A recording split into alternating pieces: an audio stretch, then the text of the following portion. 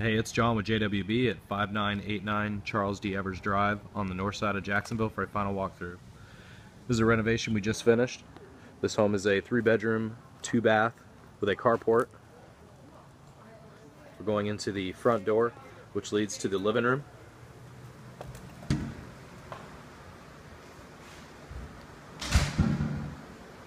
It's the dining room and kitchen. Sliding door leads to the backyard. There's a patio. Got a good sized backyard. We'll install a refrigerator and oven range when the resident's ready to move in. The exterior door here leads to the carport, and the detached laundry room is under the carport as well. It's a master bedroom.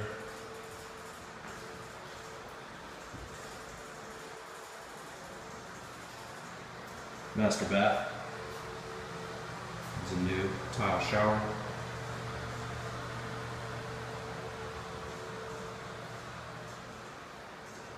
The guest bedrooms and hall bath are on the other side of the house.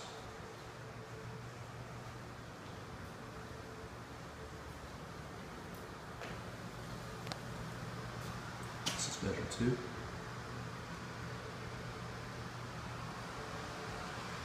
Bedroom three.